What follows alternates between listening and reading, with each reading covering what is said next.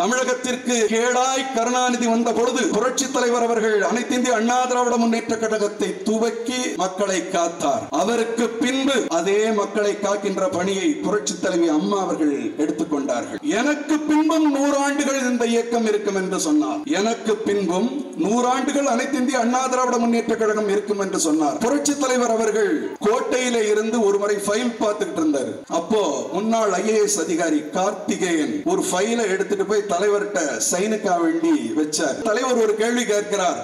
இந்த இருபத்தி ஐயாயிரம் பேரை புதுசா அப்பாயின்மெண்ட் போட்டிருக்கீங்க. கீழே ஒரு வரி எழுதிருக்கீங்களா என்னதுங்கிறார். அந்த கார்த்திகேயன் சொல்றார் தலைவர் படிச்சிட்டாரு அதுக்கு ரிப்பீட் பண்றார். இவங்கெல்லாம் ஏற்கனவே தற்காலிகமா இருக்காங்க டெம்பரரி எம்ப்ளாயீஸ் இவங்களை நீங்க வந்து போக்குறதுக்காக நீக்கிறதுக்காக அந்த ஆர்டரும் சேர்ந்து இதுல இருக்கு அதுல கையெழுத்து போடுங்கிறார் தலைவர் கேட்கிறார் இந்த இருபத்தி ஐயாயிரம் பேர் சேர்க்கிறதுல அவன் என்ன படிச்சிருக்காங்கிறார்? எல்லாரும் பட்டதாரிகள்ங்கிறாரு. சரி இந்த ஏற்கனவே தற்காலிகமா எடுத்து வச்சிருக்கீங்களே அவன் என்ன பண்றான்? அப்படின்னு கேக்குறாரு அவனும் பட்டதாரிகள்ங்கிறாரு. இவனை நம்பி இவன் குடும்பம் இருக்குல்லையா இவனை நம்பி பொன் கொடுத்திருப்பாங்க. குடும்பம் இருக்கும் குழந்தைகள் இருக்கும் குட்டிங்க இருக்கும். அஞ்சு வருஷமா இவன் வேலை பார்த்துட்டு இருக்கிறானே. இவன் குடும்பம் நடுத்தருக்கு போகாதான்னு கேட்கிறாரு ஒரு முதலமைச்சர். நான் என்னங்க பண்ணட்டுங்கிறாரு. தலைவர் ஒரு வார்த்தையில சொல்றார். இருபத்தையாயிரம் பேரை தமிழ்நாடு பப்ளிக் சர்வீஸ் கமிஷன்ல நீ எடுத்த ஆட்களை அப்பாயின் பண்ணு. ஆனா தற்காலிகமா நீ எடுத்து வச்சிருக்கிறேன் பாரு. இவங்களை நீக்கணுங்கிற உத்தரவை நான் ரத்து பண்றேன். இவங்களை வரக்கூடிய எதிர்காலத்தில் ஏற்படக்கூடிய அத்தனை வெற்றிடங்களுக்கும் நீ இவர்களை வைத்து நீ நிரப்பிக்கொள் என்று தலைமைச் செயலாளருக்கு மனிதாபிமானத்தோடு உத்தரவு போட்டார் உத்தம தலைவன் புரட்சி தலைவர் எம்ஜிஆர் அவர்கள்.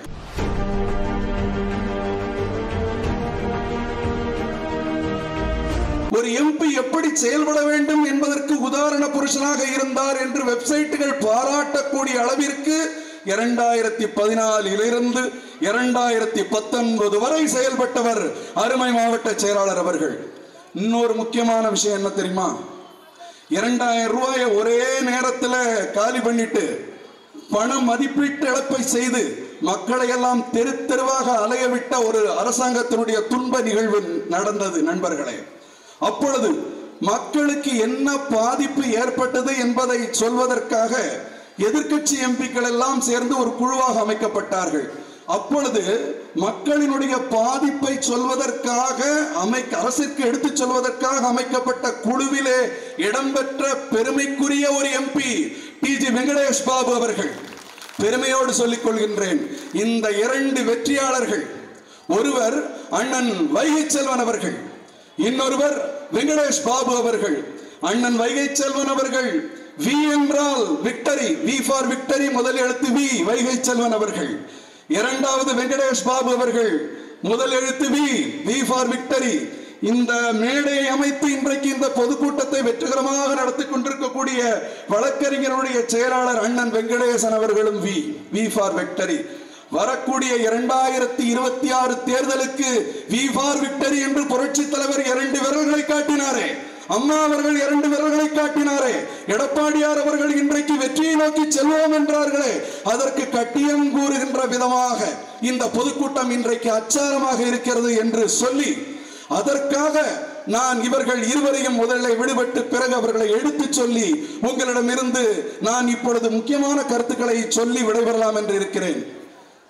ஒரு இடி இடிக்கும் மின்னல் அடிக்கும் காற்று வீசும் ஒரு மலையிலே சிறு தூறல் விழும்.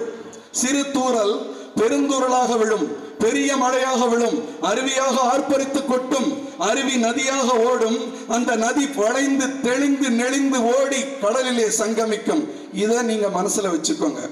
அப்படி ஒரு தமிழ் பிரவாகத்தை கொடுக்கக்கூடியவர் இங்கே இருக்கக்கூடிய அருமை சகோதரர் அருமை அண்ணன் இலக்கிய செல்வர் வைகை செல்வன் அவர்கள். அவரது வானொலி உரைக்கும் தொலைக்காட்சி உரைக்கும் புத்தகத்திற்கும் எத்தனையோ உரைகளுக்கும் எங்களது குடும்பத்திலே அத்தனை பேரும் ரசிகர்கள் என்பதை இந்த நேரத்திலே பதிவு செய்வதில் நான் மட்டற்ற மகிழ்ச்சி அடைகிறேன். இதிகாசத்தை பத்தி எழுதுவாரு இலக்கணத்தை பத்தி எழுதுவாரு பாசிசத்தை பத்தி எழுதுவாரு பாஸ்பரஸ பத்தி எழுதுவாரு வள்ளல் புரட்சி தலைவரை பற்றி எழுதுவார் வக்போடு மசோதாவை பற்றி எழுதுவார். எழுதாத சப்ஜெக்ட் இல்லை. ஒரு தமிழ் ஆர்வலர் ஆர்டிபிஷியல் இன்டெலிஜென்ஸை பற்றி அப்படி அருமையாக கற்று எழுதுவார். இன்றைக்கு கழகத்தினுடைய சொத்து இவர்கள் எல்லாம் அனைத்து இந்திய அண்ணா திராவிட முன்னேற்ற கழகம் ஆள் பெருங்கடல். இந்த கடலிலே எத்தனையோ முத்துக்கள் இருக்கின்றன. பவழங்கள் இருக்கின்றன பவள பாறைகள் இருக்கின்றன ரத்தினங்கள் இருக்கின்றன. இந்த மேடையிலே இருக்கக்கூடிய பூங்காநகர் முன்னாள் சட்டமன்ற உறுப்பினர் சீனிவாசன் அவர்கள் ஒரு முத்து. அண்ணன் இலக்கிய அணியினுடைய செயலாளர் வைகை செல்வன் அவர்கள் ஒரு முத்து. நமது முன்னாள் பாராளுமன்ற உறுப்பினர் மாவட்ட செயலாளர் அருமையண்ணன் வெங்கடேஷ் பாபு அவர்களும் ஒரு முத்து. எத்தனையோ பேர் முத்து முத்தாக அமர்ந்திருக்கிறார்கள். இவர்கள் தான் இந்த இயக்கத்தினுடைய மொத்தமான சொத்து என்பதை உங்களுக்கு தெரிவித்துக் கொள்வதிலே நான் பெருமகிழ்ச்சி அடைகிறேன். ஒரு விஷயம் அம்மா அவர்கள் சொல்லும் பொழுது சொன்னார் எனக்கு பின்பும் நூறாண்டுகள் இந்த இயக்கம் இருக்கும் என்று சொன்னார்.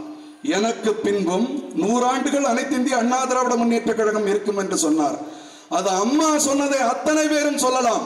ஒவ்வொரு வாரிசுகளும் சொல்லலாம். எனக்கு பின்னாலும் நூறாண்டுகள் இருக்கும். எனக்கு பின்னாலும் நூறாண்டுகள் இருக்கும். அனைத்து இந்திய அண்ணா திராவிட முன்னேற்ற கழகம் ஆலமரம் போன்றது விழுதுகளோடு வந்து கொண்டே இருக்கும் வாரிசுகளோடு வாரிசுக்கு வாரிசுகளோடு.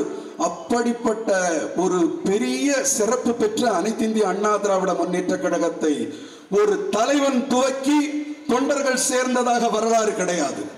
ஒரு பொதுவாக அரசியல் இயக்கத்தை எப்படி ஆரம்பிப்பாங்கன்னாச்சுன்னா ஒரு தலைவர் ஆரம்பிப்பான். தொண்டர்கள் சேர்வார்கள். நிர்வாகிகள் நியமிக்கப்படுவார்கள். எத்தனையோ விட விஷயங்களிலே அவர்கள் கருத்துரிமித்தோ அல்லது கருத்துரிமிப்பு இல்லாமலோ செயல்பட்டு இழுப்பு இல்லாமல் போவார்கள் அல்லது இருப்பார்கள். இது ஒரு நிகழ்வு.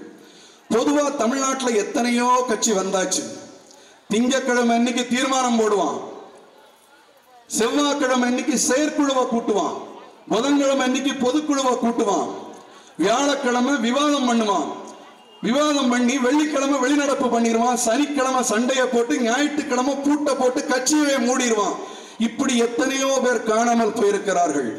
ஆனால் புரட்சி தலைவர் ஆரம்பித்த இந்த இயக்கம் மக்களினுடைய நலனை பேணுகின்ற இயக்கம் ஜாதி மத வேறுபாடுகள் இல்லாமல் மக்களுக்கு நல்லது செய்ய வேண்டும் என்பதற்காக ஒரு நல்ல எண்ணத்தோடு தோற்றுவிக்கப்பட்ட இயக்கம். புரட்சி தலைவர் இந்த இயக்கத்திற்கு நிறுவனர் என்று பெயரளவிலே மட்டும்தான். ஆனால் இந்த கட்சியை நீங்கள் துவங்க வேண்டும் என்று அவரை கருணாநிதி தூக்கி எறிந்த பொழுது தொண்டர்கள் மட்டுமல்லாமல் அவரது மன்றத்து ரசிகர்கள் மட்டுமில்லாமல் அத்தனை பொதுமக்களும் சேர்ந்து அழைத்து வந்து அவரை தலைமை பதவியிலே உட்கார வைத்தார்கள். அப்படி சிறப்பு பெற்ற அனைத்து இந்திய அண்ணா திராவிட முன்னேற்ற கழகத்தினுடைய ஐம்பத்தி மூன்றாவது ஆண்டு விழாவினை இங்கே சீரோடும் சிறப்போடும் கொண்டாடி கொண்டிருக்கிறோம். நூறாண்டுகளை கடந்தும் இந்த இயக்கம் வாழும். அப்பொழுதும் இந்த நிகழ்வுகள் தொடரும் தமிழகத்திலே. நாங்கள் இருக்கிறோம் இல்லை அதெல்லாம் வேறு விஷயமானால் அந்த இயக்கம் இருக்கும். ஒரே ஒரு காரணம் இந்த இயக்கம் இருக்கும் என்பதற்கு காரணம் என்னவென்றால் மனிதாபிமா மனிதாபிமானத்தோடு தோற்றுவிக்கப்பட்ட இயக்கம். அடுத்தவர்களுடைய கஷ்டத்தை அறிந்து அவனுடைய வலி அறிந்து அதற்கு நான் வழிகாட்டுகிறேன். உனது துன்பத்தை நான் துடைக்கிறேன் என்பதற்காக புரட்சி தலைவர் துவக்கிய இயக்கம். சாதாரணமான இயக்கம் அல்ல. புரட்சி தலைவரை பார்த்து அம்மா அம்மா வழியிலே எடப்பாடியார் எல்லாம் பாருங்க வரிசையா அவங்களோட வழியிலே வந்துட்டு இருப்பாங்க எந்த செயல் செய்தாலும் மக்களுக்கு நல்லது செய்ய வேண்டும். கஷ்டப்படுகின்றவர்களுக்கு ஆறுதலாக இருக்க வேண்டும். துன்பப்படுகின்றவர்களுக்கு ஆறுதலாக இருக்க வேண்டும் என்ற ஒரு மனநிலையிலேயே இந்த இயக்கம். புரட்சி தலைவர் அவர்கள் ஒருமுறை நேரத்தின் அருமை கருதி சுருக்கிக் கொள்கிறேன். புரட்சி தலைவர் அவர்கள் கோட்டையில இருந்து ஒரு முறை ஃபைல் பார்த்துக்கிட்டு இருந்தாரு. அப்போ முன்னாள் ஐஏஎஸ் அதிகாரி கார்த்திகேயன் ஒரு ஃபைலை எடுத்துட்டு போய் தலைவர்கிட்ட சைனுக்கா வேண்டி வச்சாரு. அதுல என்ன எழுதியிருந்ததுன்னா தமிழ்நாடு பப்ளிக் சர்வீஸ் கமிஷன்ல அப்போ ஒரு இருபத்தையாயிரம் பேர் செலக்ட் ஆகி அவங்கள அப்பாயிண்ட் பண்ணக்கூடிய ஆர்டர்ல முதல்வருங்கிற முறையில அவரோட சைனை கேட்டு அவர் நிக்கிறார். அவரோட சைன்ஸ் கையெழுத்தை கேட்டு நிற்கும் போது தலைவர் ஒரு கேள்வி கேட்கிறார். இந்த இருபத்தையாயிரம் பேரை புதுசா அப்பாயின்மெண்ட் போட்டிருக்கீங்க கீழே ஒரு வரி எழுதிருக்கீங்களா என்னதுங்கிறார். அந்த கார்த்திகேயன் சொல்றார் தலைவர் படிச்சிட்டாரு அதுக்கு ரிப்பீட் பண்றார். இவங்கெல்லாம் ஏற்கனவே தற்காலிகமா இருக்காங்க. டெம்பரரி எம்ப்ளாயீஸ் இவங்களை நீங்க வந்து போக்குறதுக்காக நீக்கிறதுக்காக அந்த ஆர்டரும் சேர்ந்து இதில் இருக்கு. அதுல கையெழுத்து போடுங்கிறாரு தலைவர் கேட்கிறார் இந்த இருபத்தையாயிரம் பேர் சேர்க்கறதுல அவன் என்ன படிச்சிருக்காங்கிறாரு? எல்லாரும் பட்டதாரிகள்ங்கிறாரு. சரி இந்த ஏற்கனவே தற்காலிகமா எடுத்து வச்சிருக்கீங்களே அவன் என்ன பண்றான்? அப்படின்னு கேக்குறாரு அவனும் பட்டதாரிகள்ங்கிறாரு. இவனை நம்பி இவன் குடும்பம் இருக்குல்லையா இவனை நம்பி பொன் கொடுத்துருப்பாங்க. குடும்பம் இருக்கும் குழந்தைகள் இருக்கும் குட்டிங்க இருக்கும். அஞ்சு வருஷமா இவன் வேலை பார்த்துட்டு இருக்கிறானே இவன் குடும்பம் நடுத்தருக்கு போகாதான்னு கேட்கிறாரு ஒரு முதலமைச்சர். நான் என்னங்க பண்ணட்டுங்கிறாரு. தலைவர் ஒரு வார்த்தையில சொல்றார் இருபத்தையாயிரம் பேரை தமிழ்நாடு பப்ளிக் சர்வீஸ் கமிஷன்ல நீ எடுத்த ஆட்களை அப்பாயின் பண்ணு. ஆனா தற்காலிகமா நீ எடுத்து வச்சிருக்கிறேன் பாரு இவங்களை நீக்கணுங்கிற உத்தரவை நான் ரத்து பண்றேன். இவங்களை வரக்கூடிய எதிர்காலத்திலே ஏற்படக்கூடிய அத்தனை வெற்றிடங்களுக்கும் நீ இவர்களை வைத்து நீ நிரப்பிக்கொள் என்று தலைமைச் செயலாளருக்கு மனிதாபிமானத்தோடு உத்தரவு போட்டார் உத்தம தலைவன் புரட்சி தலைவர் எம்ஜிஆர் அவர்கள். இது மாதிரி ஒரு முதலமைச்சரை இந்தியாவில் எங்கேயுமே பார்க்க முடியாது. அதுபோல்தான் அதற்கு பிறகு வந்த அம்மா அவர்கள் அவரது வழியை ஒற்றியே எல்லா நலத்திட்டங்களும் மக்கள் சார்ந்த நலத்திட்டங்கள். அத்தனை விஷயமும் ஒவ்வொரு விஷயங்களிலேயும் மக்களினுடைய நலம் இருக்கும். சென்னை பகுதி மக்களினுடைய குடிநீர் ஆதாரத்திற்காக தலைவர் தெலுங்கு கங்கை திட்டத்தை கொண்டு வந்தார். அதை அடிவற்றி அம்மா அவர்கள் புதிய வீராணம் திட்டத்தை கொண்டு வந்தார்கள். எடப்பாடியார் அவர்கள் இருவரும் வளர்த்த பிள்ளை என்பதால் தேர்வாய் கண்டிகை நீர்த்தேக்க திட்டத்தை கொண்டு வந்தார். அதை போலவே புரட்சி தலைவர் அவர்கள் சத்துணவு திட்டத்தை கொண்டு வந்தார். அம்மா அவர்கள் அம்மா உணவு திட்டத்தை கொண்டு வந்தார் உணவக திட்டத்தை கொண்டு வந்தார். எடப்பாடியார் அவர்கள் எங்கேயோ போய்விட்டார். இருநூத்தி முப்பத்தி நாலு சட்டமன்ற தொகுதியிலையும் ஒரு தொகுதிக்கு பத்து மினி கிளினிக் மொத்தம் ரெண்டாயிரத்தி முன்னூத்தி நாற்பது மினி கிளினிக்கை துவக்கி அத்தனை மக்களுக்கும் எந்த விதமான கட்டணமும் இன்றி அருமையான ஒரு திட்டத்தை கொண்டு வந்தார். இந்த பாவிகள் அத்தனையும் மூடிவிட்டார்கள். அத்தனை விஷயங்களும் எடப்பாடியார் காலத்திலே துவக்கப்பட்ட திட்டங்கள். அம்மா காலத்திலே துவக்கப்பட்டு அந்த திட்டங்களினுடைய அரைகுறை தன்மை இருந்தால் கூட அதை நிறைவேற்றுவதற்காக எடப்பாடியார் அவர்கள் செய்த திட்டங்கள் அத்தனையும் இப்ப நிறுத்திட்டான். ஒரு இடத்திலையும் எந்த விதத்திலையும் மக்களுக்கு சந்தோஷமோ ஒரு சுபிட்சமோ ஒரு நிம்மதி இல்லாத ஒரு கேடுகட்ட வாழ்க்கை இருந்து கொண்டிருக்கிறது. நண்பர்களே எங்கெல்லாம் தீமை இருக்கிறதோ அங்கே நன்மை வரும். எங்கெல்லாம் தீமை இருக்கிறதோ அங்கே நன்மை வரும். எங்கெல்லாம் ஒரு அட்டகாசமும் அரக்கத்தனமும் அதிகரித்துக் கொண்டிருக்கிறதோ அங்கே அருளாளர்கள் தோன்றிக் கொண்டே இருப்பார்கள். தமிழகத்திற்கு கேடாய் கருணாநிதி வந்த பொழுது புரட்சி தலைவர் அவர்கள் அனைத்து இந்திய அண்ணா திராவிட முன்னேற்ற கழகத்தை துவக்கி மக்களை காத்தார். அவருக்கு பின்பு அதே மக்களை காக்கின்ற பணியை புரட்சி தலைவி அம்மா அவர்கள் எடுத்துக்கொண்டார்கள். இப்பொழுது அந்த ஸ்தானத்திலே இருந்து அந்த நாற்காலியில இருந்து மக்களினுடைய இதய சிம்மாசனத்திலே ஏழைகளினுடைய இதய சிம்மாசனத்திலே இருந்து கொண்டு இன்றைக்கும் நான்கரை ஆண்டுகள் பொற்காலாட்சி தந்த நல்லாட்சி நாயகர் எடப்பாடியார் அவர்கள் இருந்து கொண்டிருக்கிறார்கள் என்பதை நினைத்து பாருங்கள்.